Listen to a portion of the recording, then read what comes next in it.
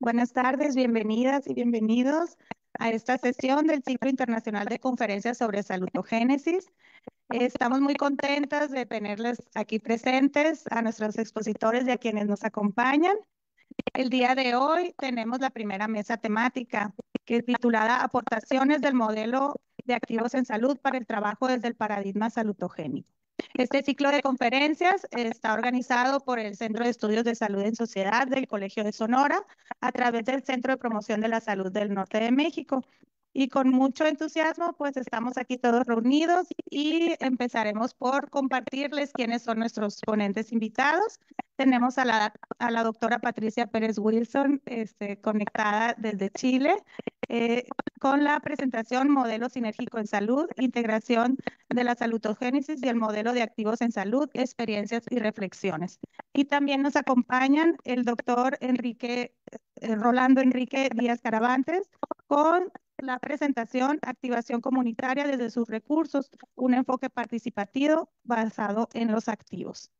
Para dar inicio a esta mesa, vamos a comenzar con la presentación de la doctora Patricia Pérez Wilson. Me permitiré leer este, un breve resumen de su currículum para que la vayan conociendo quienes aún no y quienes ya la conocen verán que sí es muy breve este resumen por su larga ya trayectoria.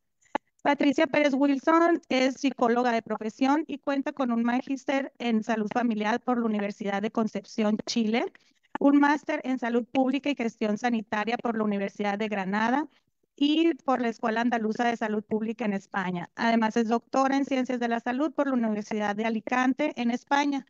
Actualmente es profesora asistente en el programa de salud y medicina familiar del Departamento de Salud Pública de la Facultad de Medicina de la Universidad de Concepción y es integrante del programa Universidad Promotora de Salud.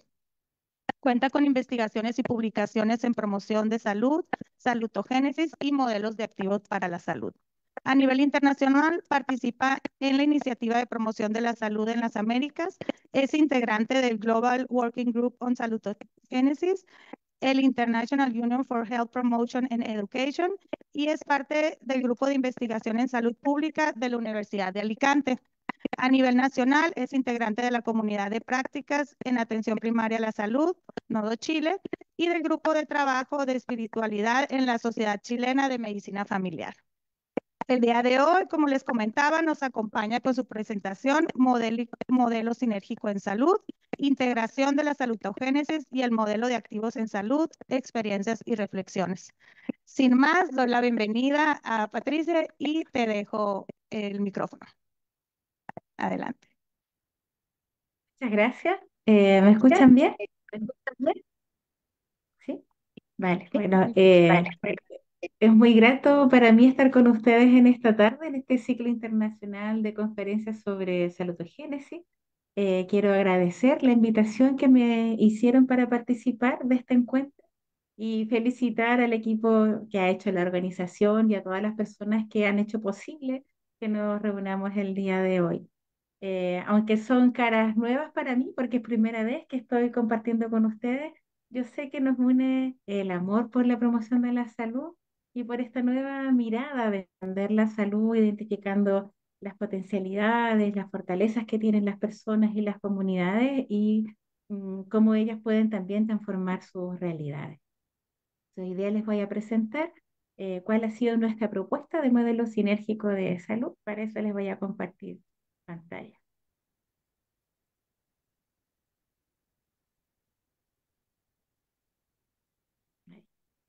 ¿Se ve bien?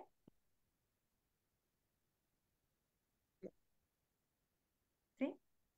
Vale. Sí. Gracias. Eh, bueno, lo que voy a contarles hoy día son unos muy breves pincelazos de lo que es la salutogénesis y el modelo de activo, porque yo sé que lo van a estar viendo eh, durante la presentación después de Rolando y lo van a estar viendo también durante todas las conferencias en forma transversal, para poder centrarnos entonces en la propuesta de modelo sinérgico de salud, ver eh, de qué se trata y algunas ideas de cómo lo estamos aplicando acá. Bueno, compartirles primero esta noticia que cuando la vi, la verdad es que me dio mucha alegría porque siento que ustedes están haciendo historia ahí en el Colegio de Sonora. y están poniendo sobre la agenda el tema de la salutogénesis, el tema del modelo de activos para la salud en un espacio latinoamericano. Y creo que eso es muy importante, ¿no? Necesitamos generar estos espacios de encuentro donde podamos conversar acerca de lo que estamos haciendo, de las experiencias que tenemos, que podamos intercambiar saberes y también generar alianzas. Y además esta noticia me dio mucha alegría porque debajo de la foto donde aparecía escrito el texto de la noticia, decía que se había realizado ya la primera conferencia que estuvo a cargo del doctor Carlos Álvarez Dardet, que fue mi director de tesis doctoral y que además es un gran amigo. Les quiero compartir primero eh, con esta foto, eh, que es una lámina a la que le tengo mucho cariño porque estas son las personas que, con quienes hemos trabajado para hacer la propuesta que vamos a ver el día de hoy. Em, y que son personas que han sido muy generosas, la verdad.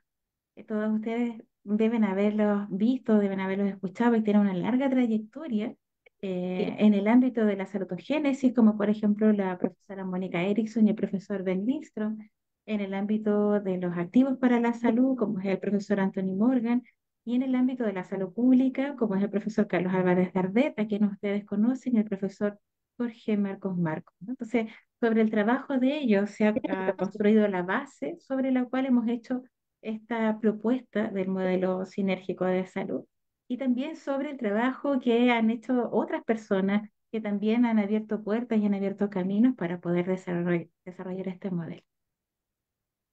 Bueno, ustedes deben haber visto, que eh, desde la salutogénesis y desde el modelo de activos para la salud aparece siempre la inquietud de cómo vamos generando más evidencia, cómo vamos generando más investigación. Y específicamente en el ámbito de la salutogénesis aparece siempre el desafío de cómo vamos a poder, eh, poder respecto de la aplicabilidad de esta teoría. ¿Cómo lo hacemos en el día a día para poder eh, trabajar en la parte práctica de la salutogénesis. Y desde el modelo de activos para la salud aparece también como el, el desafío de poder ir avanzando más allá de la identificación de los activos, lograr dinamizarlo y también lograr robustecer este modelo con un marco teórico que le dé sustento. Y también aparece como, como inquietudes y como desafío pensar de qué manera podemos articular los elementos centrales tanto de la salutogénesis como el modelo de activos para la salud para poder potenciarlo. Entonces, eh, vemos que muchas veces se habla indistintamente de la salutogénesis y del modelo de activos como que fueran lo mismo, sin embargo, no son lo mismo y han tenido desarrollos paralelos, aunque van hacia un mismo norte y tienen varios puntos de encuentro. Em, pero eh, nos parece que a pesar de haber muchas similitudes entre ellos, faltaba esta articulación entre, entre ambos que permitiera potenciarlos y desarrollar toda la, la, sinergia que ellos permiten para dar respuesta entonces a los desafíos que les presenté anteriormente. Tanto la salutogénesis como el modelo de activos para la salud han sido propuestos por la Organización Mundial de la Salud como base para el trabajo con la promoción de la salud. Bueno, ¿cuáles son nuestras bases para este, esta propuesta de modelo sinérgico? Por un lado, la salutogénesis, por el otro lado, el modelo de activos para la salud. Eh, desde la salutogénesis, ustedes saben que esto fue eh, una teoría propuesta por Aaron Antonovsky, eh, y él planteaba que la salutogénesis tiene como objetivo buscar el origen de la salud, lo que crea salud. Con la presentación del doctor Álvarez Gardet vieron que también está este enfoque patogénico, ¿no? que busca activamente dónde están los riesgos de, para la salud, dónde está el daño, la enfermedad, para poder anticiparnos o para poder de alguna manera mitigar el sufrimiento o el dolor. Y este enfoque patogénico se complementa con el enfoque salutogénico eh, para que podamos tener una visión más integrada de qué es lo que es la salud. No es que haya un enfoque que sea más importante que otro, ni que uno tenga más valor que otro. Es solo mediante la complementación entre ambos donde nosotros logramos comprender a la salud como un todo. Entonces, vamos a revisar tres conceptos clave de la salutogénesis que nos van a servir para entender luego eh, nuestro modelo de activos para la salud y que son conceptos que seguramente ustedes han visto en más de alguna ocasión. El primero es el concepto del continuo de salud. Debo confesarles que cuando conocí la salutogénesis, este concepto marcó para mí un punto de inflexión, yo venía del ámbito de, de la ciencia de la salud, donde conocemos el continuo de salud-enfermedad, en realidad se plantean como dos estados dicotómicos y nos han enseñado que las personas o están sanas o están enfermas, pero luego eh, conocí esta propuesta de Antonovsky donde él plantea que la salud se puede mm, representar como un continuo, donde hay un polo de más salud, que es el que ustedes ven acá, eh, no sé si se ve el cursor aquí, y un polo de menos salud, que es el que está aquí a la izquierda. De tal manera que independiente del punto donde se encuentren las personas en este continuo, siempre hay salud. Por lo tanto, siempre vamos a poder trabajar potenciando estas condiciones de salud. Podríamos decir que habitualmente en promoción nosotros trabajamos con las personas que se encuentran más cercanas a este polo, ¿no? el polo de más salud. Pero eh, en el trabajo que nosotros hacemos, yo eh, además de, en lo que mencionaron en la presentación, yo trabajo en un equipo de cuidados paliativos. Podríamos decir que las personas que nosotros atendemos están en este polo de acá. Sin embargo, nosotros podemos trabajar aún en este polo identificando las condiciones, los elementos, los recursos que puedan potenciar la salud de las personas y avanzar entonces hacia el lado derecho del continuo. Cuando trabajamos así, con esta lógica, lo que hacemos es trabajar con una orientación salutogénica. Y eso es clave cuando hablamos de promoción de salud y también es clave para nuestro modelo sinérgico. El otro concepto eh, clave de la salutogénesis son los recursos generalizados de resistencia. Eh, hay más tipos de recursos que se plantean en la salutogénesis, como los recursos específicos de resistencia, los recursos de déficit, pero este es uno de los más conocidos.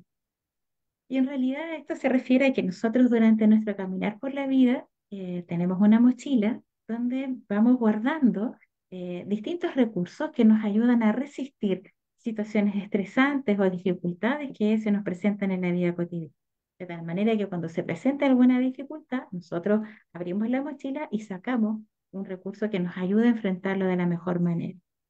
Como dice Coco, cuando la vida me golpea, yo toco la guitarra. No saco mi recurso de resistencia y toco la guitarra. Y también eh, durante la vida vamos aprendiendo nuevas habilidades o nuevas eh, capacidades que nos permiten incorporar nuevos recursos en esta mochila. Pero el concepto quizás más importante de la salutogénesis y el más conocido es este, que es el sentido de coherencia, eh, donde se ha generado bastante evidencia vinculada a la aplicación de la escala para medir el sentido de coherencia y cómo ésta se relaciona con indicadores de salud. ¿Y por qué es tan clave este concepto? Porque para Antonovsky eh, el origen de la salud se encuentra en el sentido de coherencia. Y este se entiende como una orientación frente a la vida, la forma como yo me paro frente a la vida, como yo resuelvo las cosas que me van pasando, como yo gestiono los recursos que tengo, es lo que va a impactar en, que yo tenga mayor o menor salud. Entonces, esta orientación frente a la vida eh, se compone de tres ámbitos, ¿no? Un ámbito cognitivo, uno conductual y uno motivacional. En la parte cognitiva, el sentido de coherencia se refiere a la confianza que yo tengo, que las cosas que me pasan a mí o que pasan a mi alrededor, yo las puedo comprender, me las puedo explicar. En la parte conductual eh, se refiere a eh, que yo eh, conozco los recursos que tengo en la mochila que vimos en la lámina anterior y que además puedo hacer algo con esos recursos, ¿no? Lo puedo manejar, puedo gestionarlo y con eso también hacer frente a estos desafíos que se me presentan en la vida. Y finalmente, también confianza en que estos desafíos, estas dificultades que se me presentan en la vida tienen un sentido o que merecen la pena, porque la vida en sí también tiene un sentido y vale la pena para mí. Entonces, a la medida que eh, yo soy capaz de comprender lo que me pasa, eh, gestionar los recursos que tengo para enfrentar estas dificultades y encontrarle un sentido, la forma como yo me paro frente a la vida va a impactar directamente en generar mayor salud. Pasando a la segunda parte de este modelo, el modelo de activos para la salud. Eh, este modelo de activos fue ya planteado inicialmente por Krebsman y McKnight en el año 93 del siglo pasado. Eh, ustedes, seguramente muchos de ustedes no habían nacido todavía en ese tiempo. Y eh, la verdad es que ellos no hablaban de activos en ese momento, pero luego en el desarrollo de su teoría han desarrollado ya un, eh, un modelo que ha sido muy fuerte, que es el modelo de activos, eh, de, de, activos comunitarios, conocido como ABCD por sus siglas en, en inglés. Y bueno, en realidad quienes acuñaron el concepto de activos fueron Morgan y Siglio en el año 2007. ¿Qué pasó? Que ellos pensaban que eh, desde la salud pública ya estábamos llegando muy tarde. Llegábamos a actuar cuando ya estaba instalado el daño o ya estaba el riesgo o ya estaba la enfermedad. Por lo tanto, teníamos que identificar aquellos elementos que nos permitieran actuar oportunamente para fortalecer la salud. Y desde ahí entonces aparece este concepto de activos para trabajar y para potenciar todo lo que tuviera que ver con promoción de la salud. Y entonces ellos definen un activo como de, manera bastante general, en realidad, de, manera bastante amplia. Dicen que puede ser cualquier factor o recurso que vaya a potenciar la capacidad de las personas, de las familias, de las comunidades, ¿no? que les permita mantener y promover su salud y bienestar. de tal manera que vamos fortaleciendo estas capacidades y vamos poniendo el foco en lo que las personas tienen y no en lo que a las personas les falta, ¿no? Para poder entonces movilizar estos recursos que promueven la salud. Si tuviéramos más tiempo, yo les podría preguntar cuáles son sus propios activos para la salud, pero como no tenemos tanto tiempo, les traigo la tarea hecha. No sé si la ven ahí, pero eso corresponde a, una imagen de eh, una consulta que hicimos en uno de los cursos sobre activos para la salud, donde le pedimos a las personas que identificaran sus activos. Y entonces vemos ahí que aparecen elementos que tienen que ver con características de las personas, con algunas prácticas que ellas hacen habitualmente, eh, con personas que son afectivamente significativas, eh, con elementos del entorno, del entorno físico, del entorno laboral, del entorno en cuanto a convivencia, grupos en los que participan algunas instituciones, eh, elementos económicos también aparecen y también elementos que tienen que ver con cultura y con identidad. Entonces aparece una amplia gama de conceptos y de ámbitos donde nosotros podemos trabajar si queremos fortalecer la salud de las personas. Y eso también es un desafío cuando trabajamos en promoción de la salud. Bueno, entonces, ¿cómo se articula esto dentro de nuestro modelo sinérgico? Las fotos que ustedes ven son de, de la Universidad de Concepción, del campus Concepción, para que queden con las ganas de venir a conocer acá, donde van a ser muy bienvenidos y muy bienvenidas. Eh, les voy a contar entonces cómo surge esto, cómo lo hemos ido pensando y cómo lo hemos ido trabajando. Eh, esto fue propuesto en el año 2020, ya en un artículo que escribimos en inglés y que el año pasado salió la versión en castellano, eh, que es una versión más acotada y que también está más actualizada. Son dos documentos que van a quedar también a disposición para ustedes. Entonces, ¿cuáles son las características centrales de este modelo? Primero, nosotros eh, concebimos la salutogénesis como el encuadre. La salutogénesis para nosotros el marco que, eh, que contiene estos enfoques positivos de salud pública, donde dentro de este marco se inserta el modelo de activos para la salud que nos permite eh, la aplicación o la implementación de lo que es la salutogénesis, ¿no? Puede contribuir a la parte práctica ¿no? de la salutogénesis. Consideramos que los recursos generales de resistencia son activos para la salud y no al revés, más que los activos son recursos generales de resistencia. Y eso porque eh, el concepto de recurso general de resistencia está muy asociado a resistir situaciones estresantes, ¿no? Y nos parece que el concepto de activos para la salud es mucho más amplio, contiene los recursos de resistencia, pero también aborda todo lo que tenga que ver con cómo promovemos la salud y el bienestar. O sea, no solo el estrés, sino que también cómo aprovechamos las oportunidades que la vida nos plantea o cómo aprovechamos lo que tenemos que nos ayuda para mantenernos sanos y sentirnos bien habiendo muchísimas clasificaciones de activos para la salud, eh, proponemos que estos se puedan explorar en, en, cuatro ámbitos diferentes. ¿no? Por un lado, en las personas, con sus propias características, fortalezas, habilidades, los contextos donde ellas se encuentran, ¿no? contextos eh, que se refieren a las redes que tienen, a sus vínculos, a elementos culturales, al barrio, a la escuela, al trabajo, a la trayectoria de vida que tenga la persona y los aprendizajes que han ido teniendo con las dificultades, con las oportunidades que han ido eh, viviendo, ¿no? Eh, y también buscarlos en los procesos que, que se viven, ¿no? En el ámbito más bien relacional, por ejemplo, eh, en el desarrollo de trabajo en equipo o en el proceso de crianza, etc. Pero para mí la parte más importante quizás de este modelo sinérgico de salud es que nos propone una forma de transformar recursos en activos. Y eso nos remite a, la la idea que eh, todas las personas tenemos recursos, las comunidades, las familias tenemos recursos, pero no siempre estamos conscientes de lo que tenemos. Y por lo tanto, como no siempre estamos conscientes de eso, no siempre los vemos, eh, no siempre los valoramos, no siempre los utilizamos, no siempre están disponibles para nosotros. Entonces ahí tenemos una diferencia entre lo que es un recurso y lo que es un activo. Un recurso tiene la potencialidad y un activo entonces ya es algo que las personas pueden utilizar y está disponible para ello. Aquí, por ejemplo, podemos ver que esta plaza saludable o esta plaza activa es un recurso, está ahí el potencial, pero no está siendo utilizado ni, eh, ni la gente lo visualiza como algo que a lo mejor contribuye a su salud y bienestar aquí eh, esta misma plaza ya es un activo para la salud. Las personas disponen de ella, la utilizan, se congregan en ese espacio, lo tienen incorporado como algo que contribuye a su salud y bienestar. Por lo tanto, para pasar de recurso activo, nosotros creemos que es importante trabajar con estos tres componentes que vimos del sentido de coherencia. La comprensión, la manejabilidad y sentido. Un recurso va a ser un activo para la salud, sí y solo sí, las personas lo comprenden, lo manejan y lo encuentran sentido. Es decir, esa es la parte más complicada de entender a veces, así que si tienen cualquier duda ahí después me pueden preguntar.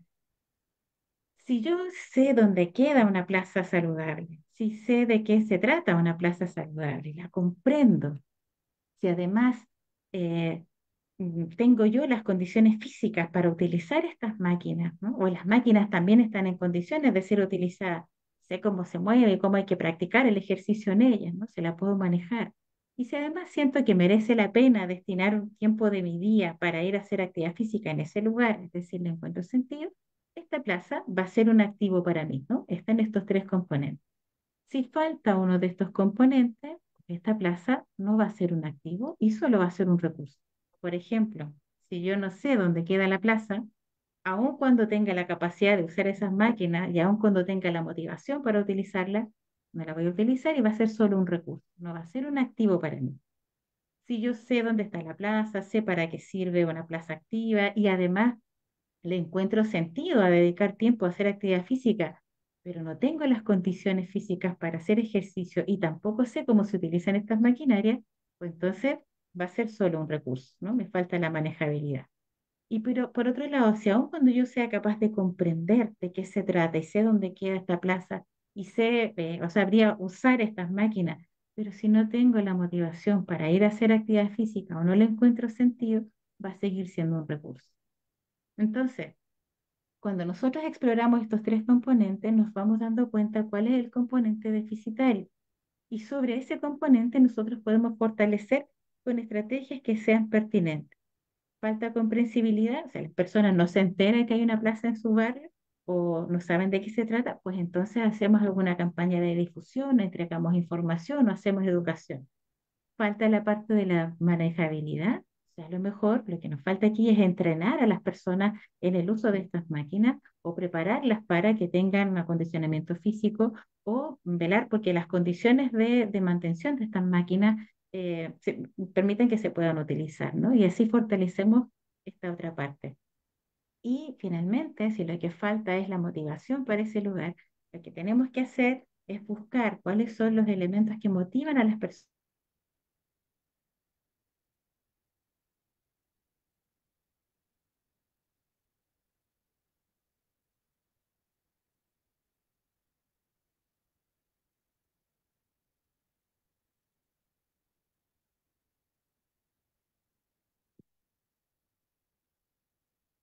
Tenemos ahorita un, perdimos la conexión con Patricia. Ah, ya de regreso, Patricia.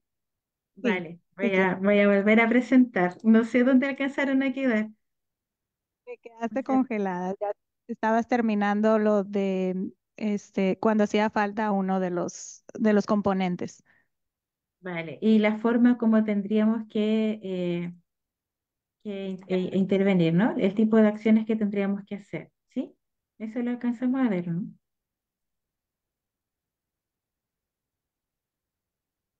A ver.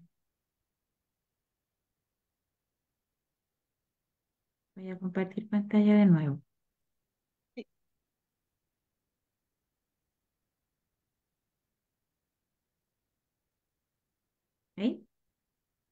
Gracias. Entonces les decía que cuando nosotros exploramos estos tres componentes, podemos ver qué tipo de intervención es la que sería más pertinente para, eh, para poder desarrollar y transformar este recurso en un activo. Si nos falta la comprensión, entregamos información, hacemos discusión, hacemos educación. Si nos falta la parte de la manejabilidad, podemos entrenar a las personas entonces a que puedan hacer ejercicio en estas máquinas, fortalecer su capacidad de acondicionamiento físico, mejorar las condiciones en las que estas máquinas se encuentran. Y si nos falta la significatividad, podemos buscar cuáles son los elementos que actúan como motor o los temas generativos que moviliza a las personas para hacer actividad física. Entonces, cuando exploramos estos tres componentes, podemos ver cuál de ellos es el que está un poco más débil y podemos fortalecerlo a través de acciones que son distintas y nos permite hacer intervenciones más pertinentes respecto de, eh, de la realidad que estamos observando. Este es como el resumen de lo que es el modelo sinérgico. No sé si habrán visto esta película, eh, la película Encanto. Aquí está la abuela Alma y está Mirabel. Eh, es una familia donde todos tenían distintos dones, tenían algunos poderes mágicos, pero Mirabel no tenía ningún don. Si no han visto la película, voy a anticiparles el final. Eh, bueno, ella descubre después que tiene un don y que es un don bien importante porque ella entonces empieza a asumir un liderazgo dentro de la familia y es capaz de reunir a su familia. Entonces, en la medida que ella toma conciencia del don que tiene, lo puede comprender, se da cuenta que es un poco distinto de los otros dones, pero entiende de qué se trata eh, su don, puede utilizarlo y eh, eso le ayuda a reconstruir la casita donde vivía esta familia y además le da un sentido, ¿no? Que dice que va a servir a la comunidad y va a fortalecer su hogar. Solo ahí entonces, cuando Mirabel comprende, maneja y le encuentra sentido a su don, ese don pasa a ser un activo para su ser.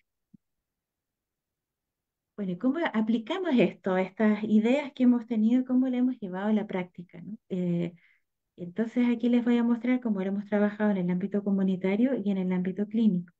Eh, aquí en esta foto del campus ven eh, hojas de colores en, en otoño, para mostrarles cómo hemos tratado también de ir coloreando los distintos espacios con esta nueva mirada, con esta nueva forma de trabajar en salud.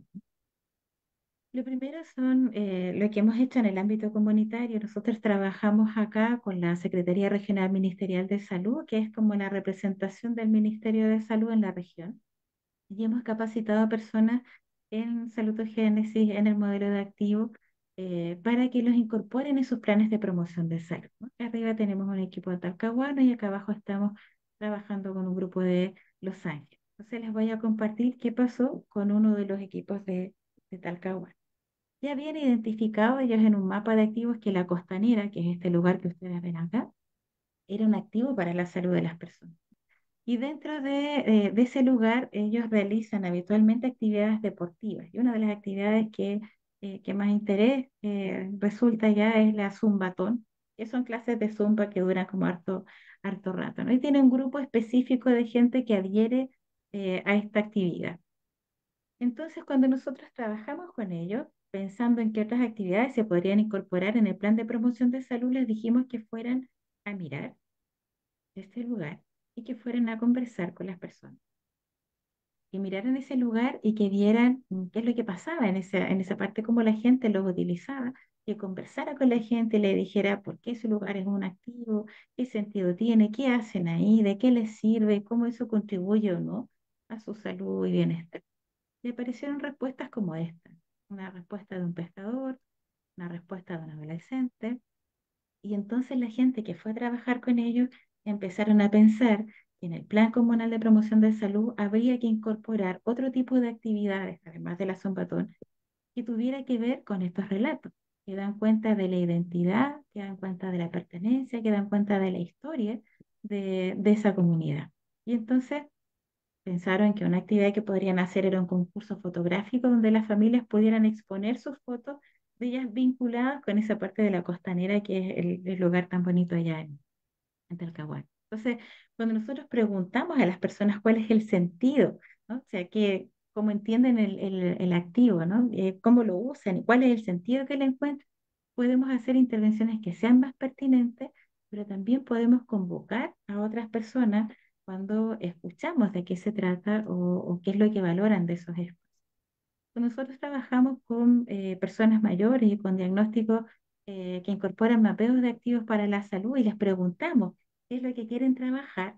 Habitualmente aparece eh, priorizados activos asociados a la parte cultural, ¿no? a, a la identidad, a la historia, a la pertenencia. Entonces me parece un desafío interesante para quienes trabajamos en promoción de salud y es incorporar también acciones que fortalezcan el sentido de comunidad. Es algo que no hacemos habitualmente, pero que sí aparece como una necesidad. En el ámbito clínico es donde nosotros más hemos desarrollado este modelo específicamente en el, en el equipo de cuidados paliativos y también en lo que es la formación de residentes en medicina familiar.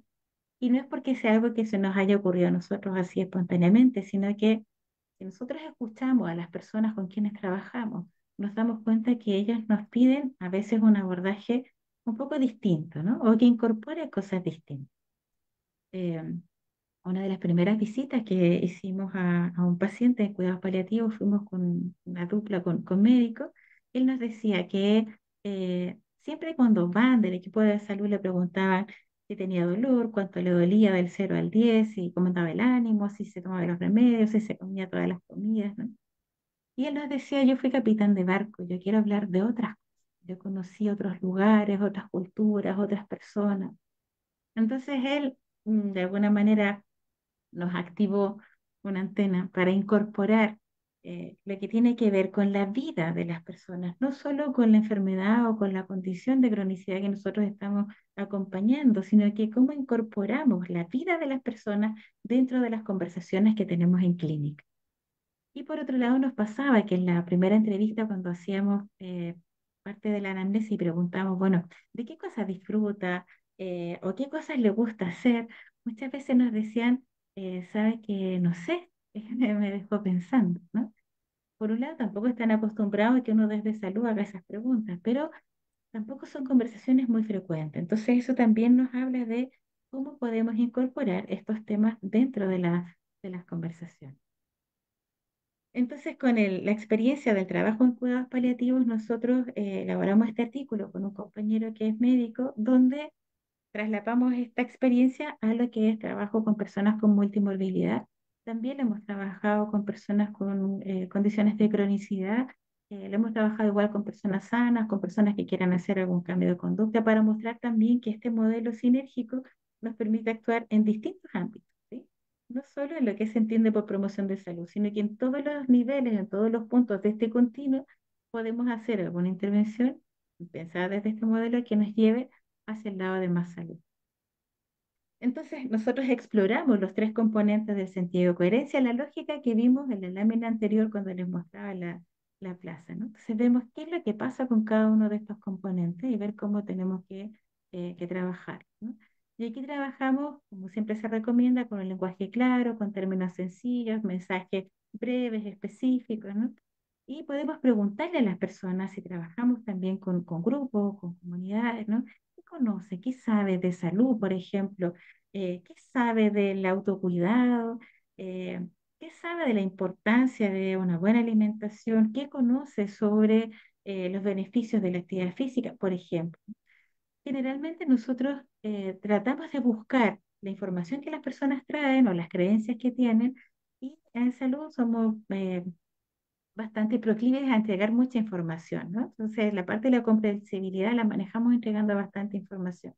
Pero sabemos que la información, aunque es necesaria, no es suficiente para producir cambios. Entonces, tenemos que explorar también otras partes y exploramos también la manejabilidad para ver si las personas están conscientes de los recursos que tienen, si identifican sus propios activos ¿no? en estos distintos espacios, sus capacidades, sus habilidades, su contexto, sus relaciones familiares, sus relaciones con otras personas, qué activos empiezan a aparecer, ¿no?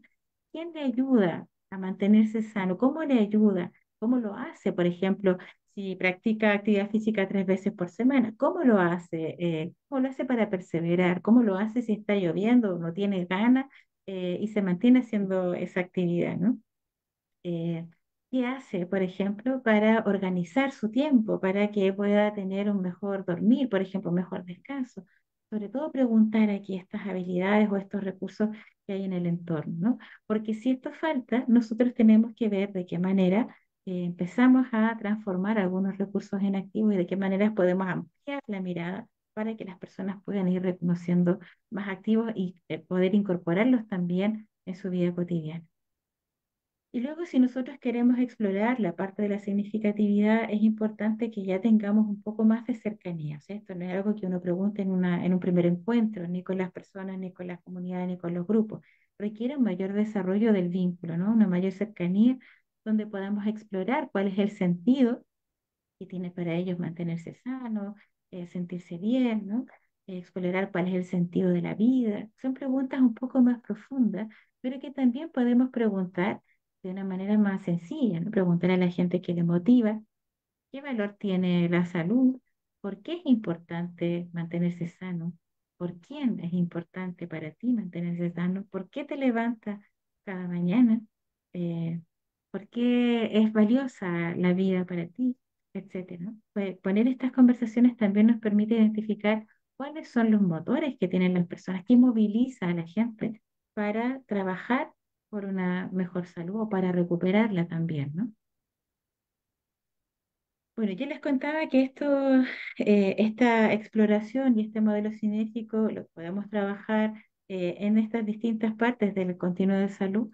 Eh, y entonces lo que les quiero mostrar para finalizar la presentación ya tiene que ver con relatos de personas que han estado en cuidado paliativo con quien hemos estado trabajando con esta orientación salutogénica, generando las mejores condiciones de, salud eh, independiente del lugar del continuo donde se encuentran.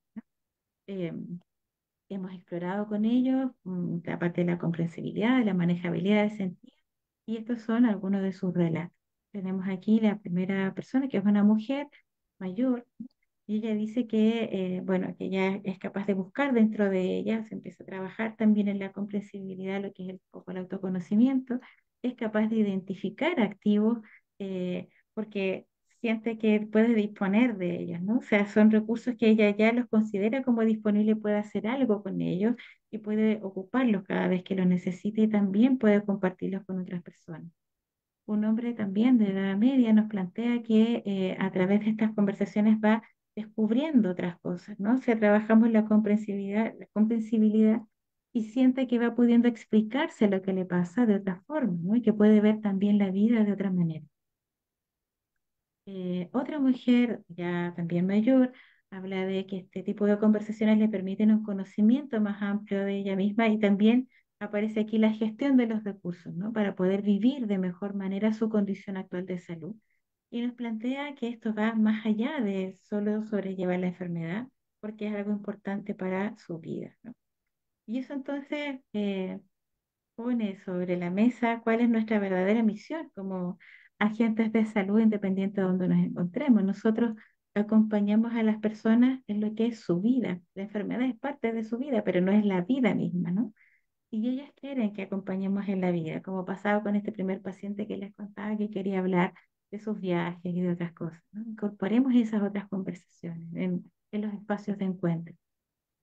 Y finalmente tenemos el relato de otra mujer de edad media que eh, ella se esmeraba por hacer el mejor cumpleaños, el cumpleaños inolvidable, la Navidad inolvidable, el aniversario inolvidable con un costo de energía y con un costo de desgaste físico alto.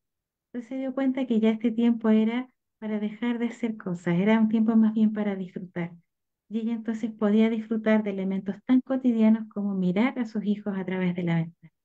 O sea, a través de esta orientación salutogénica, a través de este levantamiento de activos, nosotros podemos hacer también que las personas puedan encontrar otra emocionalidad en lo cotidiano, en las distintas condiciones en que se encuentran, podemos trabajar para generar mayor salud y bienestar.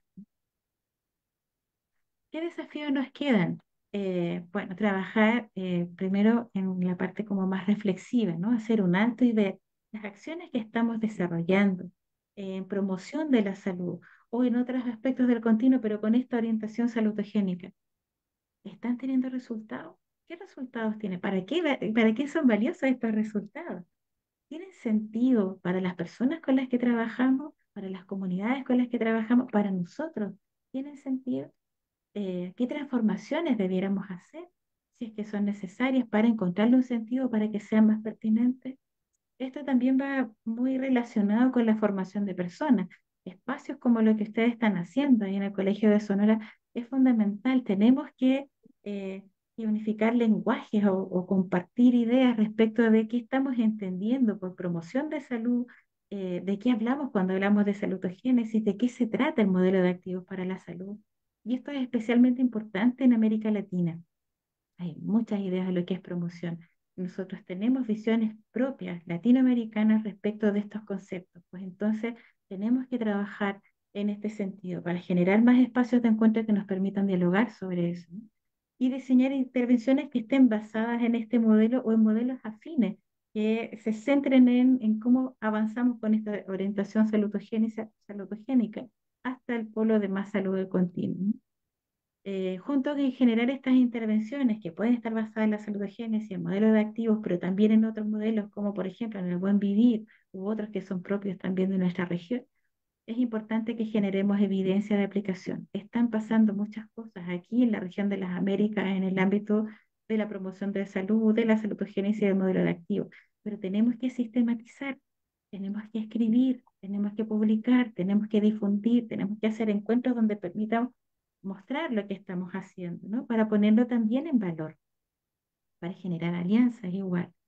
Y junto con eso tenemos el gran desafío en promoción de salud, que es la evaluación, que es una asignatura pendiente, eh, y eh, que podamos diseñar indicadores que den cuenta de esta mirada salutogénica, ¿no? Eh, existen indicadores como por ejemplo la autoeficacia, la autoestima, el mismo sentido de coherencia, el bienestar, la calidad de vida, no siempre los utilizamos. Hemos visto en intervenciones, por ejemplo, en universidades promotoras de salud, intervenciones que se hacen con estudiantes para fomentar el bienestar, que luego una de las formas de evaluar los indicadores que se utilizan es la disminución de síntomas ansiosos o la disminución de síntomas depresivos. Está bien, que son importantes. Si queremos fomentar el bienestar, miramos bienestar, ¿no? Eh, o incorporemos estos otros indicadores para tener una mirada más completa de qué es la salud, ¿no? No quedarnos con los indicadores patogénicos. Y en caso de que no existan, pues bueno, vamos a tener que pensar en cómo hacemos otras preguntas, cómo miramos otras cosas que a lo mejor no estamos mirando para diseñar indicadores que den cuenta de esta mirada. Y para terminar, les comparto esta, este pensamiento de Eduardo Galeano, que yo creo que refleja muy bien lo que ocurre en nuestra región de las Américas, ¿no? Ya vemos muchas personas en muchos lugares haciendo muchas cosas que algunas pequeñas, otras no tan pequeñas, y que estamos cambiando algunas realidades, ¿no? Eh, que podemos cambiar incluso eh, el mundo, o al menos el entorno donde estamos, ¿no? Pero nos falta conocernos, nos falta difundirnos, y creo que ese es como el gran desafío al día de hoy. Muchas gracias. Muchas gracias, Patricia, por tu participación este, y por irnos guiando de esta manera tan, tan didáctica y tan amena a través del modelo este, sinérgico y darnos tantos ejemplos también para, para seguir aprendiendo de él. Vamos a pasar este, a la siguiente ponencia a cargo del doctor Rolando Díaz Caravantes. Mm, al final vamos a tener un poco de tiempo para preguntas para ambos. Me permito presentarle el doctor Rolando Díaz, es profesor del Colegio de Sonora en el Centro de Estudios en Salud de Sociedad. Tiene su doctorado en la Escuela de Geografía y Desarrollo de la Universidad de Arizona y tiene una maestría en Ciencias Sociales en el Colegio de Sonora. Es miembro del Sistema Nacional de Investigadores Nivel 2. Ha estudiado la interacción humano-medio ambiente-agua, centrándose en cómo los medios de vida de los pequeños agricultores se han visto afectados negativamente por las condiciones ambientales. Específicamente, estudia la vulnerabilidad sociohídrica y riesgo en comunidades del río Sonora producido por el desastre minero del 2014. También ha examinado los determinantes sociales del riesgo para la salud relacionados con las altas temperaturas en Sonora. Recientemente ha propuesto el enfoque participativo activación comunitaria desde sus recursos, que en parte retoma la propuesta del, Instituto ABCD de Asset Based Community Development, enfocado a personas que acompañan a comunidades. El tema de, de, su conferencia el día de hoy es activación comunitaria desde sus recursos, un enfoque participativo basado en los activos, lo que nos permitirá continuar con este diálogo. Bienvenido, Rolando. Adelante.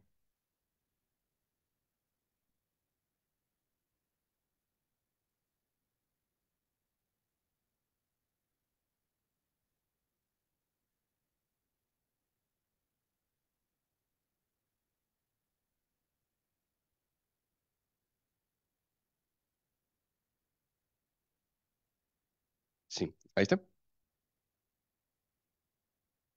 Bueno, yo estaba con el tema, sí, está prendido el foquito. Con el tema de las comunidades del río Sonora afectadas por el desastre minero del 2014. Y, y iba con mis lentes de vulnerabilidad y riesgo. Pero llegó un momento en que, ahora sí, no sé si saturación teórica o de campo, pero, pero como que veía que, que estos conceptos no daban para más, ¿no? Entonces yo tenía la inquietud de decir, oye, y más allá de, diagnosticar la vulnerabilidad de riesgo, ¿qué hay, no? Y empecé a buscar, a buscar literatura y me encuentro con el enfoque ABCD. Y, y hago, en, en, unos años empiezo a probar este, este modelo y, y, en algún momento me atrevo a ofrecer un curso de, de ABCD que que en realidad es activación comunitaria de sus recursos, como, como lo manejo y ahorita voy a explicar por eso. Y América tomó el curso y me dice, Rolando, estamos en las mismas. Ah, muy bien, excelente, con salutogénesis, ¿no? Y entonces, eh, pues para mí es un gusto estar aquí con ustedes y, y seguramente saldrán cosas interesantes, ¿no? De, de, estas, de, este, de esta charla, ¿no? Y por supuesto, con, con la doctora Patricia, que le agradezco mucho su, su participación. Eh, bueno, entonces, eh, la siguiente, por favor.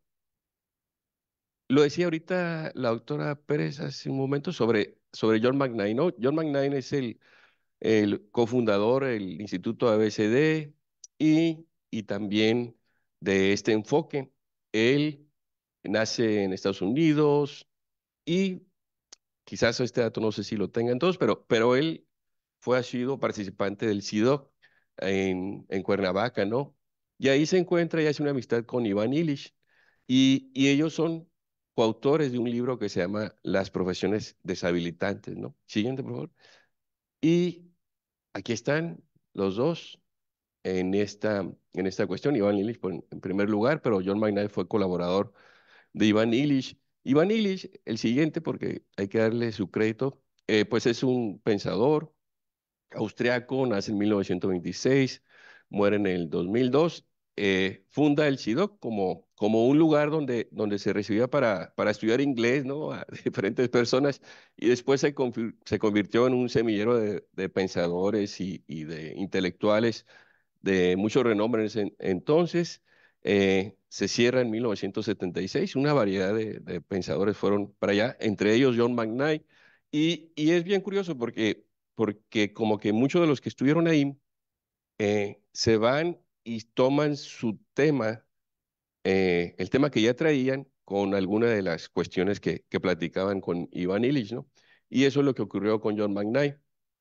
Eh, y diferentes pensadores como Gustavo Esteban lo toma hacia otro tipo de, de cuestiones, ¿no?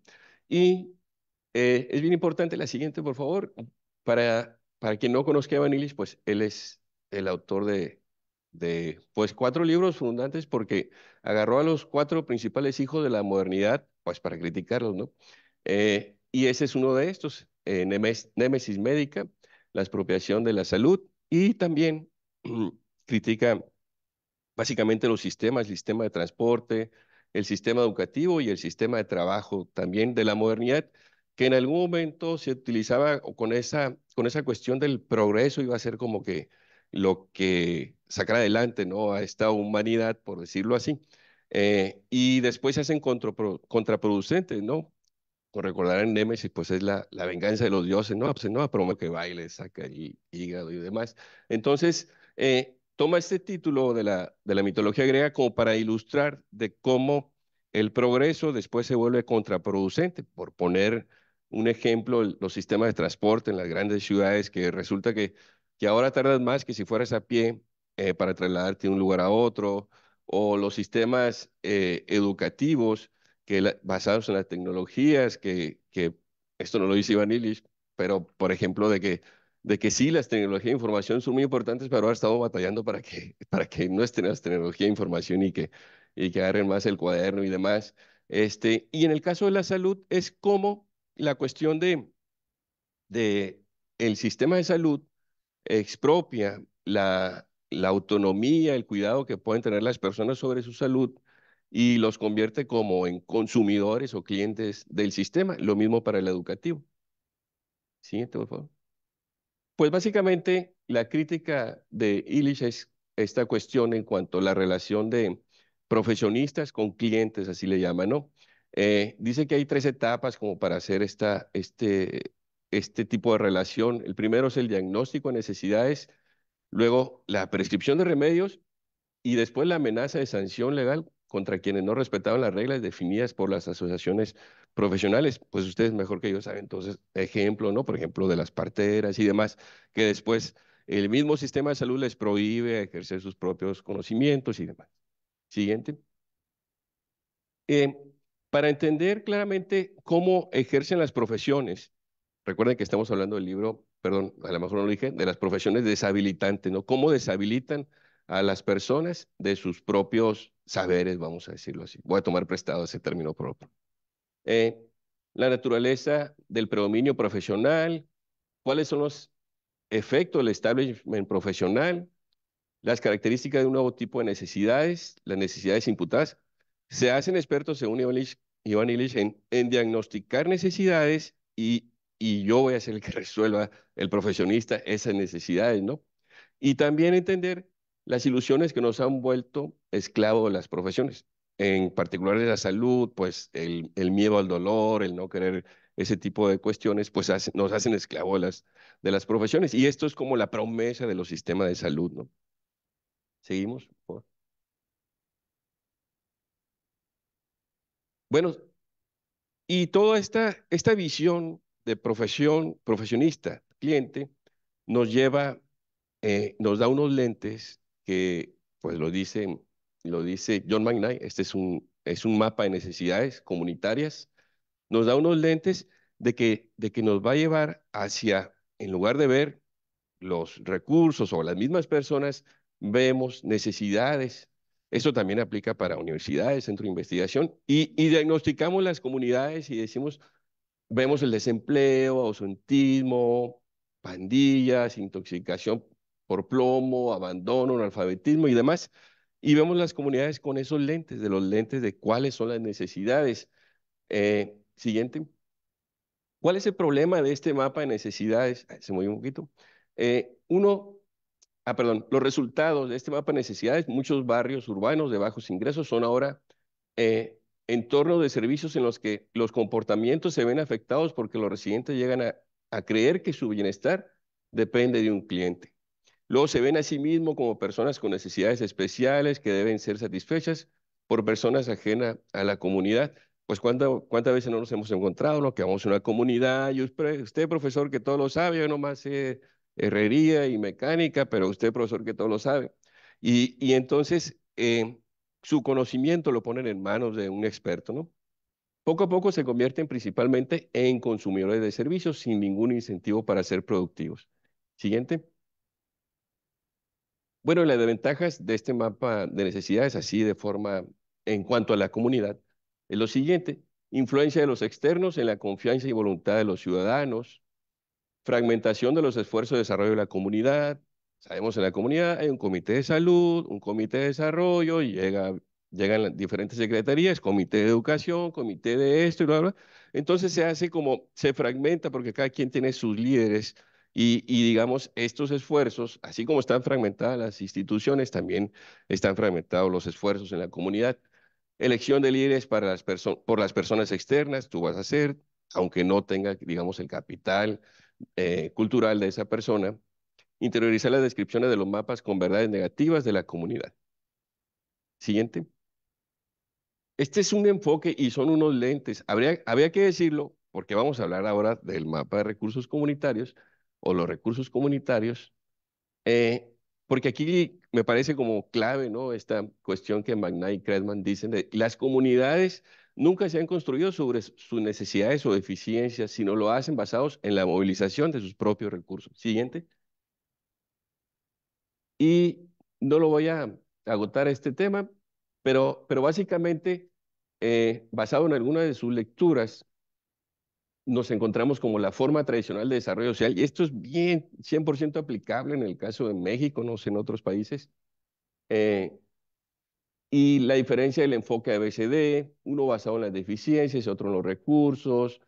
Eh, en el tradicional, cree saber la respuesta, el que llega, y el otro identifica oportunidades, busca cambiar a la comunidad, incrementando los servicios. Eso hace en el modelo tradicional. Cambia la comunidad, involucrando a la gente se enfocan en el apoyo externo a la comunidad y en el ABCD se enfocan en organizaciones y recursos locales. Para uno el dinero es el recurso clave, para otro las relaciones son el recurso clave. Uno es centrado en las individualidades, centrado en las comunidades. Uno lo ve como clientes, otro como ciudadanos. Y, y todas estas cuestiones son como diferencias entre el enfoque tradicional de verdad, de verdad yo pienso en, el caso de México y en cada uno de ustedes, digo, es, que eso hacen, ¿no? Las instituciones de gobierno y no sé qué tanto, ¿no? De repente las instituciones que llegamos a, eh, las universidades y demás, ¿no? Siguiente. Bueno, estos son, ya lo mencionaba un poquito la doctora Pérez, estos son los recursos o activos comunitarios, personas que tienen habilidades, cualidades, talentos, para ver todos estos recursos necesitas unos nuevos lentes. Asociaciones, organizaciones sin fines de lucro, clubes deportivos y grupos de iglesias. Yo, agregaré ahí eh, redes de apoyo, ¿no? Que son muchas veces como, como se manifiestan. No necesariamente es un comité, pues, pero las redes de apoyo vecinales y demás. Las instituciones, empresas, bibliotecas y especialmente las escuelas tienen un papel que desempeñar, el entorno físico, espacios verdes, caminos, instalaciones, no sé, ejemplificaba muy bien la doctora Pérez en un momento, la economía, empresas dinámicas, el comercio local y demás. Y una parte que lo menciona al final y es donde, donde yo retomo parte de la activación comunitaria eh, de este modelo, es las historias. Cada comunidad tiene un rico tejido de historias positivas que la definen. Siguiente. Y este es el mapa de activos comunitarios. En el centro punteado están los de primer orden que se llaman, que son los, los recursos comunitarios y los cuales tiene control la comunidad. La segunda, lo gris, son los recursos que están en la comunidad, geográficamente en la comunidad, pero que dependen de una persona externa. Por ejemplo, una escuela, eh, hay que pedir permiso al director, directora, para poder utilizar los espacios y demás, centro de salud, lo mismo. Y la tercera es como estos recursos externos y que son también controlados por externos, como remesas, información pública, apoyo de bienestar social y demás. Para una activación comunitaria, dirían Magnay, que hay que partir de los del centro, de, los que están en la comunidad, que la comunidad tenga control de estos recursos. Siguiente.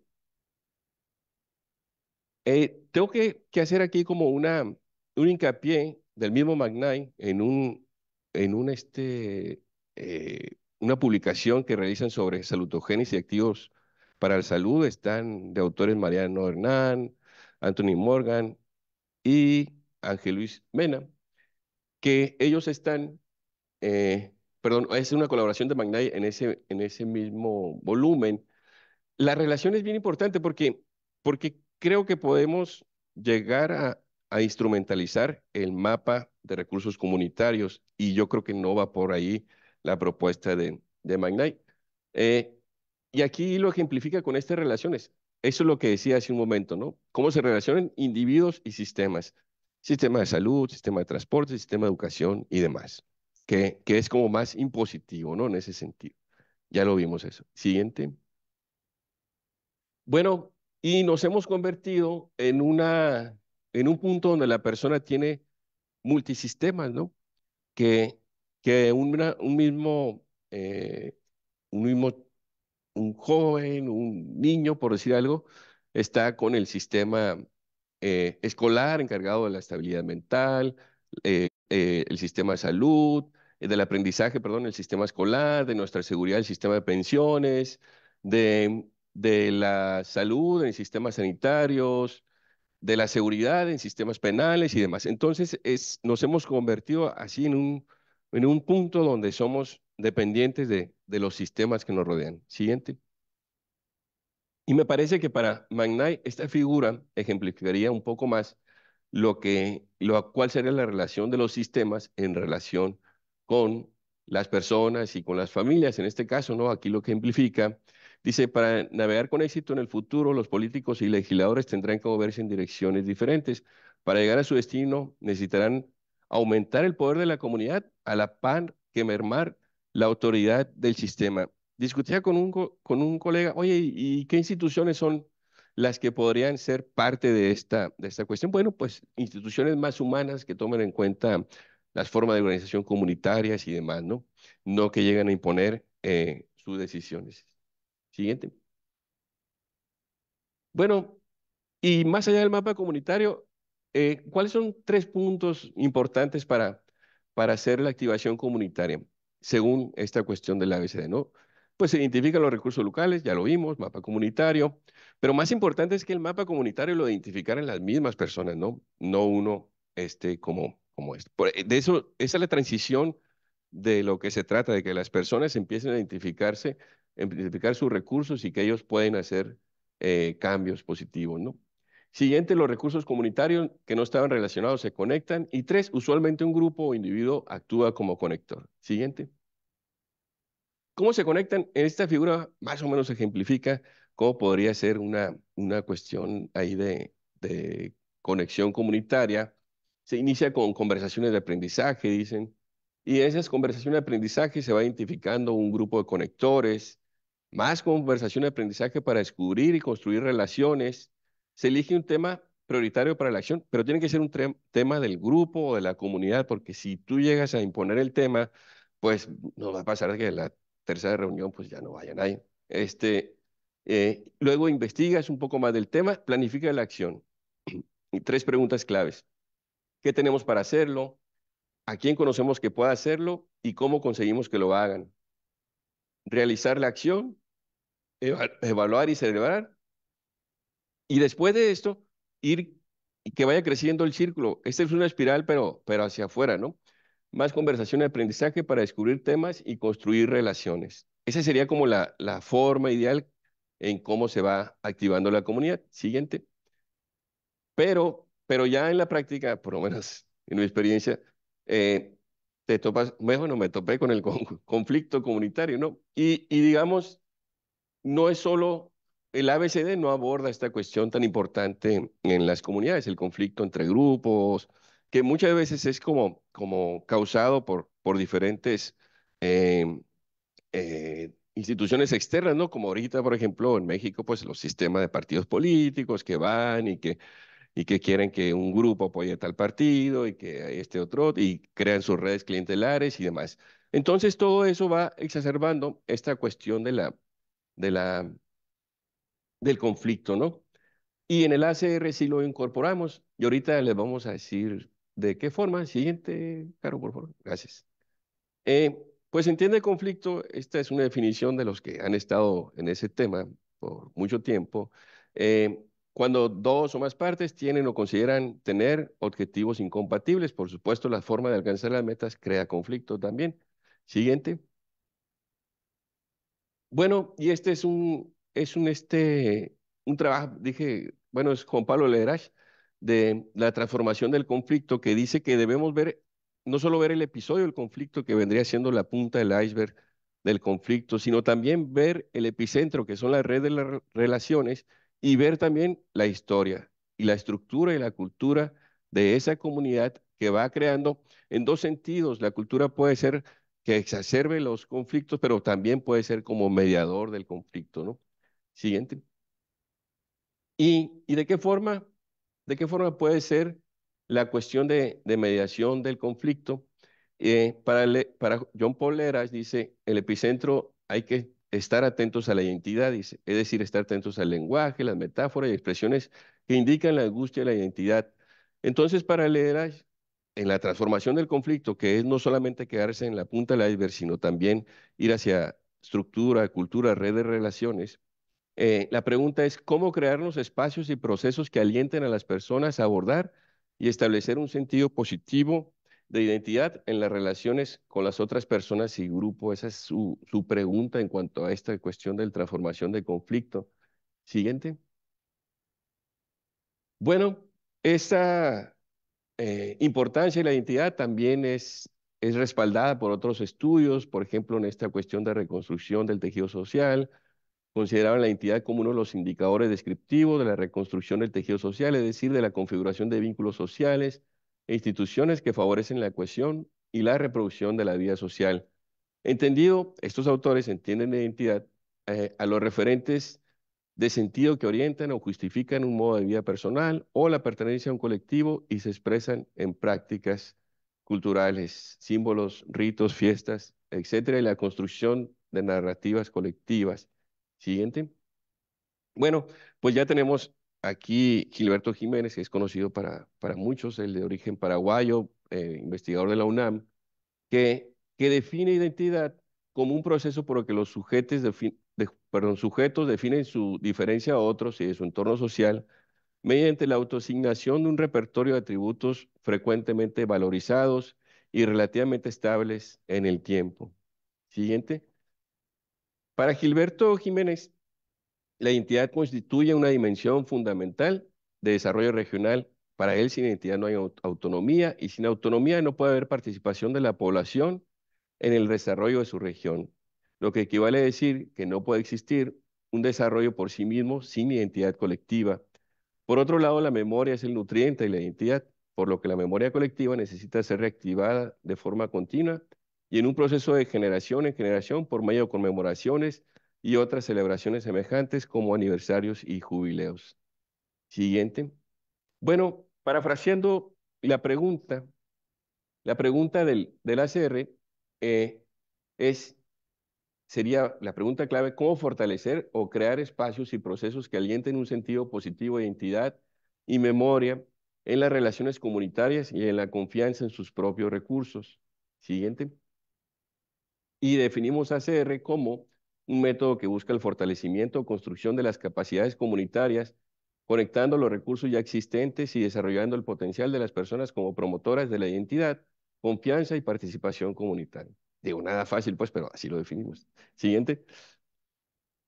Bueno, en, un, en este curso y después de, de estar, eh, pues, probando, por decirlo así, eh, las ideas con, con un poquito con la realidad, pues, pues hay, una, hay un proceso de activación comunitaria, es un texto pensado para, para personas que, que, que trabajen en comunidad, es un texto de vinculación que ya está terminado y que esperemos en próximos meses eh, sea publicado.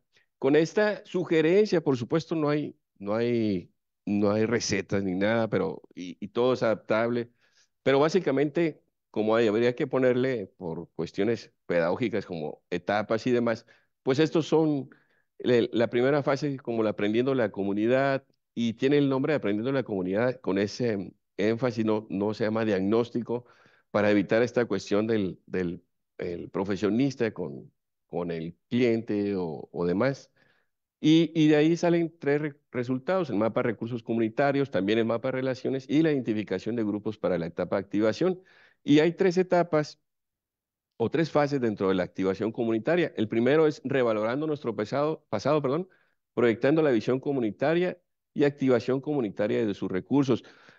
Antes de, darme cuenta de la cuestión de, o tener tan, tan presente la cuestión del conflicto comunitario, pues nomás era la activación comunitaria de sus recursos, pero, estas dos primeras fases, revalorando nuestro pasado y proyectando la visión comunitaria eh, en base a diferentes lecturas, las fui armando para que, para que pudieran em, reforzar como la identidad, la cohesión, antes de lanzarlos a, hacer una actividad, ¿no? Siguiente. Bueno, en Revalorando Nuestro Pasado, pues son básicamente el, mapa histórico comunitario. Ese se trabaja con personas claves de la comunidad, em, ya en, pues una especie de grupos focales, pero más bien reuniones o, círculos de, aprendizaje, ¿no? Con las comunidades, de aprendizaje de uno, ¿no? No de ellos, por supuesto. Eh, mapa histórico comunitario, cuáles son los principales lugares, personas que dejaron huella en la comunidad, cuál es el ciclo festivo comunitario y una línea del tiempo en la comunidad donde veamos como los momentos eh, positivos, pero también los momentos negativos y sus aprendizajes, ¿no? Y al final esto se hace como una especie de festival histórico comunitario para, para esta cuestión de, este, lo que mencionan del ABCD, la, la cuestión celebrativa, pues es, es importante, ¿no? Siguiente fase es ahora proyectando un poquito hacia el futuro, eh, con las mismas personas, imaginando el futuro de la comunidad, lo que imaginan nuevas generaciones, y, y se hacen como después al final como un aprendizaje de qué es lo que, lo que, lo que, lo que queda de activación o qué hicieron, porque mientras vas haciendo estos trabajos, vas, vas dando que ellos se apropien de este, este tipo de cuestiones. Si lo hace uno solo, todo, pues no estás aplicando algo de activación comunitaria, ¿no? Porque ellos son quien debe de, de irse involucrando, ¿no? Las personas de la comunidad. Y y al final, ah, perdón, pues ahí eh, se trata de involucrar a nuevas generaciones, eh, también hay unas charlas con ellos y demás para ver cómo imaginan el futuro. Siguiente. Y al final, eh, antes de lanzarlos hacia un problema particular, con el mismo método de ACR, pues se busca, pues eso fue lo que imaginamos, ¿no? la rehabilitación de un espacio público que puede ser un parque, una plaza, por esa doble intención, que se vayan entrenando en esta cuestión de la activación comunitaria, pero por otro lado también eh, de, que, de que el resultado sea o propicie ¿no? el encuentro de la comunidad también. Siguiente, creo que es la última. Ah, pensamientos finales.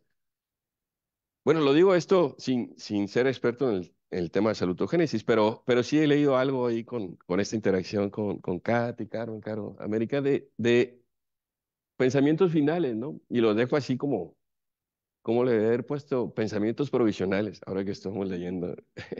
Antonovsky y Magnay critican los sistemas modernos, el primero el de salud y el segundo desarrollo comunitario. Iván Illich pues también, ¿no? Obviamente. Pero los dos van más allá de la crítica y desarrollan, modelos propositivos su encuentro en común. Los dos toman en cuenta los recursos de los actores. El primero con los recursos de resistencia, que ya nos explicaba la doctora Pérez, que, que, se busca expandir esta cuestión de, no solo de resistencia. Y el segundo, los activos comunitarios.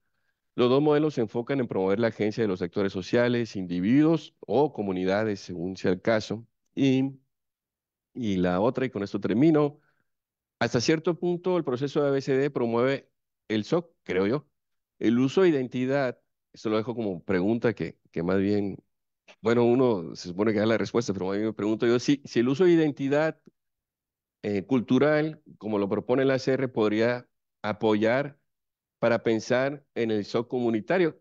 Ya Carolina Palomo me respondió esto y sí hay una lectura donde, donde se ve como Antonio Tsunovsky toma aunque no lo menciona tal cual, pero en diferentes lecturas, la cultura como algo importante, lo cual puede ser como, como una interfase donde se unen en, en esto que le llaman eh, bienes culturales, ¿no? En, en, un trabajo que realizan analizando, analizando a su vez los trabajos de Antonovsky. Eh, los profesionales en salud deberían tener cuidado con usar el mapa comunitario instrumentalizando a las personas. Ese es mi punto de vista, ¿no? Para implementar el ABCD es necesario desprofesionalizarse para acompañar a las comunidades de forma horizontal y flexible. La escucha es clave. Eh, ¿A qué me refiero con desprofesionalizarse? Es esta cuestión de, de tener como que uno las respuestas, lo que veíamos al inicio, uno las respuestas, de que va a ser este. hay, que, hay que partir de que la comunidad ya tiene recursos, tiene diferentes habilidades y demás para poder hacerlo, porque, porque sí, la, la, la tendencia primero es decir, ah, yo lo hago, ¿no? Este, y, y no, se trata de, de que las personas lo vayan haciendo. Pero no haberme pasado mucho de tiempo. Sí, gracias. Muchas gracias al doctor Rolando por compartir estos conocimientos con nosotros, por tu participación y por irnos guiando este, por con tu propuesta y, y seguir en este diálogo, ¿no? Este, nos quedan algunos minutos. Déjenme nada más para ver a Patricia también. Hola de nuevo. Este, nos quedan unos minutos para, para interactuar con quienes están aquí reunidos y también quienes están este, siguiendo la transmisión por el Facebook del Colegio de Sonora. Este, como por Facebook son pocas interacciones, voy a leer eso, eso primero y luego para pasar la palabra a quienes están aquí presentes. Este, pues, para empezar, muchos saludos desde diferentes partes de, del mundo. Eh, de Cuba, de, Chile, de España, eh, de aquí de México también. Aquí este, vemos, además de esos saludos que nos da mucho gusto que estén siguiendo esta transmisión, eh, tengo una pregunta dirigida a la doctora Patricia, este, que dice así. Se ha aplicado, ah, no, era esperme, había otra antes. Denme un segundo.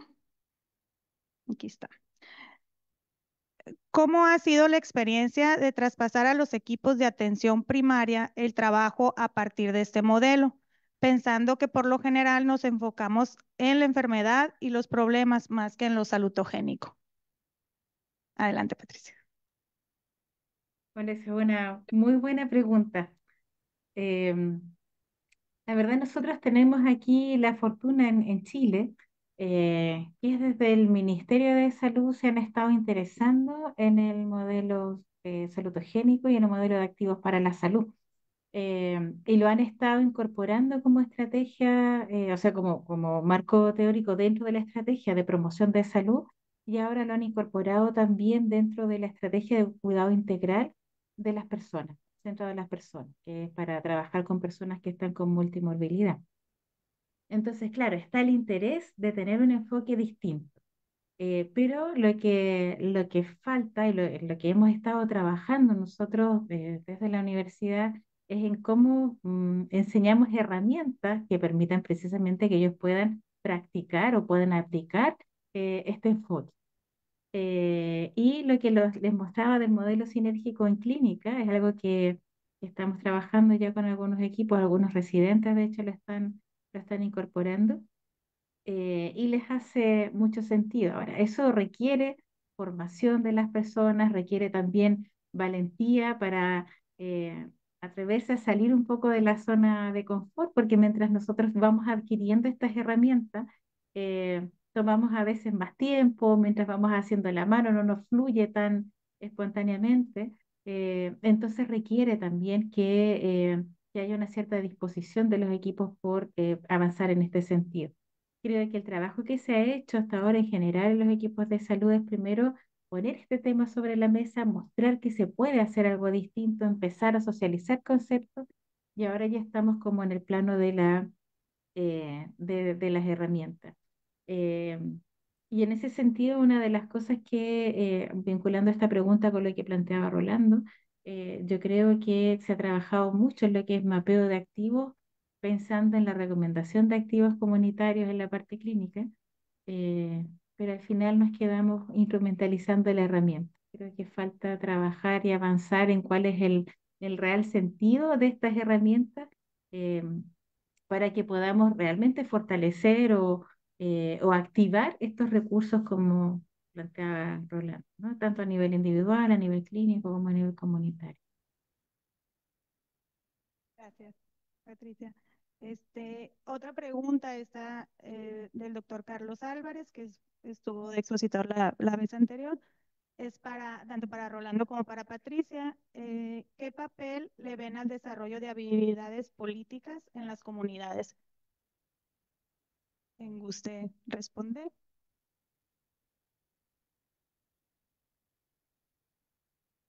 Adelante, Pati. Ah, no, no, no, Este, no, creo que, que si llamamos, por ejemplo, habilidades eh, políticas como mediación del conflicto, creo que sí es importante que tengan habilidades de ese tipo. Eh, la, aquí la, la, la, clave es, y lo, lo dice Magnay ahí en uno de sus textos, es cómo, cómo dar esa vuelta y a veces no uso mucho la palabra paradigma, pero creo que sí cabe aquí como, como a eso de los sistemas de salud, de darle la vuelta y ya está todo un reto de, de que sean ellos los, los que van a proponer los servicios, que los dejen de tratar como clientes, ¿no? Y que, y que ellos, eh, las personas de la comunidad, comiencen a confiar en sus recursos. Yo creo que ya pasó, pasaron, más allá de los pueblos originarios, que yo creo que todavía tienen esta cuestión de confiar en sus recursos, sin ser experto en el tema, pero en, en muchas comunidades y, y barrios ya está ya está el sistema de salud, vamos a decirlo, biomédico, hegemónico. Entonces, yo creo que las habilidades políticas las necesitamos como, como cómo convencer a los sistemas de salud de que, de que no, no van a poder resolver todo, pero por otro lado, ellos, ellos tienen sus tensiones, también hay que entenderlo, ¿no? De que, oye, tienen que demostrar que sí pueden contra esta enfermedad, que sí bajaron los índices y esto. Ya estoy hablando de más, pero, pero por ahí en ese sentido, creo que las habilidades más políticas las necesitamos como como trabajarlos con los mismos sistemas, ¿no? Y, que empiecen eh, como en una cuestión más gradual a reconocer a las comunidades y sus recursos y demás. Todavía estamos a tiempo eh, de, reconocer los saberes tradicionales, pero mucho me temo que, que si esperamos más tiempo, esos saberes tradicionales se van a ir acabando, ¿no? En ese sentido, los pueblos originarios son un patrimonio cultural de este tipo de, de cuestiones. Bueno, Patti, adelante. Gracias, Rolando. Plenamente de acuerdo contigo. Eh, creo que el tema de las habilidades políticas eh, es también quizás eh, como otro peldaño de, los, de la escala que tenemos que avanzar para poder continuar trabajando con, con este modelo. Así como el tema del conflicto no está abordado en el modelo del ABCD, el tema del poder no está explícito tampoco en, el modelo de activos para la salud. hay un desafío pendiente y es importante considerar lo que tenemos que, eh, ver cómo podemos dialogar con, con este poder, ¿no? Eh, estaba pensando que nos pasa muchas veces que cuando se hacen estos mapeos de activos o se, se llegan a identificar y se llegan a dinamizar, eh, se dan en algunos espacios donde si las personas que toman las decisiones, por ejemplo, en una comunidad, ¿no? Eh, donde está un alcalde, o así, si las personas que, que, toman las decisiones no conocen esta, esta mirada o no le encuentran sentido a este trabajo, eh, muchas veces son iniciativas que se han quedado ahí nomás. Entonces necesitamos desarrollar estas habilidades políticas que nos permitan dialogar con personas que toman decisiones, y que pueden facilitar la instalación eh, y el desarrollo de, esta, de estas capacidades, además de trabajar con, la, con las propias comunidades ¿no? y con las propias personas, pero tenemos que actuar como forma multinivel, ¿no? en los distintos espacios, eh, tratar de ir como eh, poniendo estos temas, formando a las personas en esto, para que se vayan abriendo como estas, estas posibilidades. Un poco eso es lo que nos pasó con el Ministerio de Salud. Mientras nosotros trabajábamos de la salutogénesis y activo a nivel local, sí, teníamos algunas experiencias, nos falta la evaluación, como siempre, ¿no? Pero cuando ya el ministerio dice, venga, esto va a ser la forma en que vamos a trabajar, pues empieza a haber mucho más interés eh, y empiezan entonces a consolidarse algunas iniciativas. Yo creo que es una habilidad que, que tenemos que incorporar y nos queda el desafío de desarrollar. Por sus respuestas. Eh, me disculpo de antemano, hay, hay algunas preguntas más en Facebook, pero vamos a hacer dos de Facebook y dos de aquí porque ya nos queda poquito tiempo para dar también oportunidad a quienes están aquí presentes si quisieran hacer alguna pregunta. Adelante. Mm, bueno, felicitar a ambos expositores. Eh, ha sido muy útil. A mí me han caído algunos 20 aclarando y ratificando mis propias interpretaciones.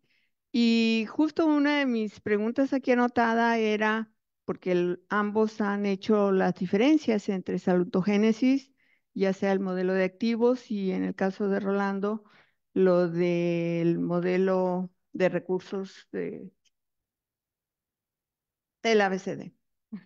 Sí, claro. Entonces ya respondieron ambos, ¿no? De, las ausencias entre el poder y el conflicto. Y me parece que, bueno, Patti ahorita ha hecho la aclaración de cómo trabajar en, en etapas, ¿no? Pero creo que también deberíamos empezar por, por definir política, ¿no? Rolando lo ha mencionado como la mediación. Si nos atenemos a la mediación y promover las habilidades de la resolución de conflictos a través de la mediación, digamos, esa puede ser una eh, habilidad política, puesto que somos personas sociales y somos políticas per se. Entonces, creo que eh, ha sido enriquecedor ambas presentaciones y eh, yo me quedo con la reflexión de que no hay que dar mm, por sentado nada, ¿no? En el medio en el que nos movemos, tanto en el académico como en el comunitario, y tener como claras las definiciones de varios conceptos que pueden resultar diferentes entre eh, las, eh, tan solo para la operacionalización en la comunidad, ¿no? Gracias. Muchas gracias a la doctora Carmen Castro. ¿Hay alguna otra pregunta por acá? Disculpa, a raíz, de lo que plantea Carmen, eh, mm, me gustaría, bueno, valorar mucho la, la opinión que ella da, porque a la medida que nosotros no tengamos claridades en los conceptos que estamos utilizando, luego tampoco tenemos claridad de qué es lo que tenemos que mirar para poder evaluar. Entonces nos falta mucha, eh, mucho trabajo en ese sentido como para aunar algunos mínimos comunes de los conceptos con los que vamos a trabajar. Eh, te agradezco mucho, Carmen. Muchas gracias, Pati. Adelante, Rolando. Bueno, quizás me falta, me falta ver, pero yo platico con los alumnos, oigan, yo la verdad es que no veo programas gubernamentales que estén apoyando el desarrollo de capacidades, habilidades de la comunidad. Quizás me equivoco, ¿no? Y, y, bueno, pues no conozco todo México y menos todo Latinoamérica. Y si hay, pues hay pocos, ¿no? Este, y, creo que ahí es, es este el, el, reto. Em, nuestros programas necesitan así demostrar su efectividad a corto plazo y demás. Y yo creo que ahora sí que, que los tomadores de decisión y demás necesitan crear condiciones para que se, se den este tipo de, de trabajos como, como lo estamos escuchando ¿no? en Chile, aquí nos dice eh, Patricia.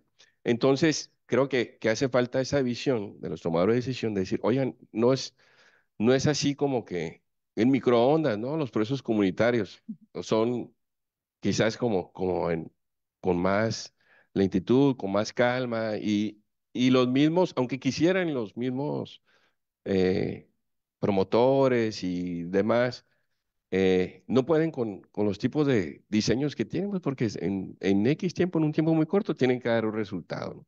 Entonces, creo que ahí, ahí nos hace falta trabajar eh, con los tomadores de decisión en crear esas, ese tipo de instituciones que toman en cuenta más a la comunidad. Muchas gracias. Gracias a ambos por este diálogo. Aquí tenemos una última intervención. Adelante. Sí, pues igual felicitar a, a Patti y a Rolando con sus presentaciones.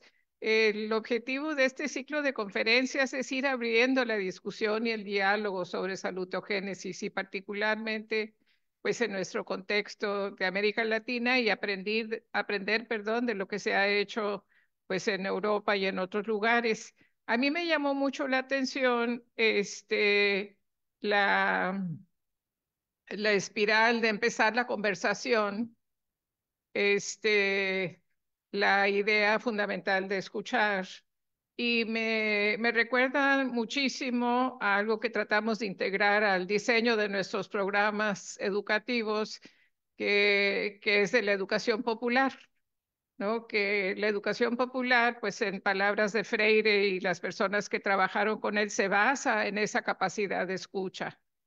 Y pues yo pertenezco a una generación, pues eh, creo que mis papás también pertenecieron a una generación que vieron eh, multiplicarse las experiencias de educación popular y del desarrollo comunitario, digamos, bajo la marca de lo que ustedes están presentando. Y a mí me hace falta un estudio, eh, a lo mejor lo tienen identificado, a lo mejor ya se ha hecho, pero que analice qué pasó desde los 50, los 60, con los principios de los 70, con esas experiencias. Tenemos experiencias en Nicaragua, en Chile, este, en México. En, ¿qué, ¿Qué pasó? que no prosperaron. Y además de eso, nuestro personal de salud hacía mucho más trabajo comunitario de lo que hacen hoy día. Entonces, esta hegemonía que ha ido ganando el modelo biomédico como la solución a todo, este, no solo, no solo se ha vuelto hegemónico, digamos, en cuanto a las actividades, sino que al conocimiento y la experiencia y la formación del recurso humano en salud. Entonces, yo creo que nos falta un poquito ver cómo se hizo eso, ¿no? ¿Qué nos tapó los ojos? ¿Cómo es que que, llegamos a este punto en donde estamos redescubriendo, así yo sentí, redescubriendo el hilo negro, el Mediterráneo, etcétera. Entonces, a mí me gustaría mucho simplemente compartir esa experiencia con ustedes. Ahí está una tesis. este, este, y pues eh, no cometer los mismos errores no cometer los mismos errores, ¿no? Por lo menos estar más alertas. Muchas gracias, muchas felicidades. No hay que ser, no hay que ser pesimista, pero yo no veo ahorita condiciones en México para que se dé volver al hilo negro, por decir algo, ¿no? O sea, creo que, que más bien es a la viceversa, ¿no? Como, como que este, esta idea, la visión clientelista y demás, va prosperando más, ¿no? Entonces, eh, Sí, pues uno, uno propone, ¿no? Por decir algo, pero por lo menos, pero, pero digamos, esta, esto a uno le da a decir, bueno, pues ya va más allá de la vulnerabilidad, pero así como sistema, un sistema que esté proponiendo eh, así eh, para retroceder en esa, en esa cuestión de, de, que los sistemas sean lo que, lo que más esté eh, pues ganando terreno, no lo veo todavía, ojalá que sí, pues, pero Digo, pero no quiero ser pesimista, pero así es. Patricia, ¿hay algo que quisieras agregar? Sí, me parece muy interesante la, la opinión de la compañera.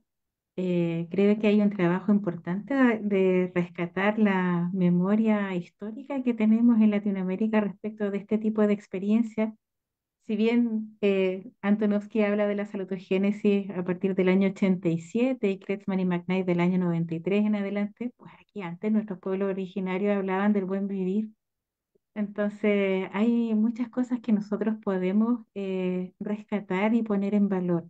Creo que también tenemos el gran desafío de ver cómo estos modelos van dialogando también con otros contextos económicos y contextos políticos. Aquí no hay solo eh, una hegemonía del modelo biomédico. Hay hegemonía de ciertos modelos económicos también, ¿no? Modelos políticos que también influyen en que estas iniciativas que estamos haciendo, eh, donde estamos redescubriendo el hilo nuevo, el hilo negro, pero en versión 2.0 o 3.0, eh, pero tenemos que trabajar a esos, a esos niveles, incorporar estos elementos en el diálogo para que efectivamente tengamos las condiciones que permitan que esto pueda prosperar de la mejor manera. Eh, creo que esos son temas pendientes, cómo dialoga esto con la determinación social de la salud, por ejemplo, eh, y de qué manera los vamos articulando, ¿no? para que no vayan en caminos separados. Muchas gracias. Pues sí, es el inicio ahorita de estas este, diálogos, de establecer este tipo de relaciones para seguir pues empujando y y viendo juntos, llegando a, posibles este, maneras de incidir, ir uniendo esfuerzos, ¿no? Este, estamos muy contentos de lo que acaba de suceder aquí, de estas eh, conferencias, de estos diálogos.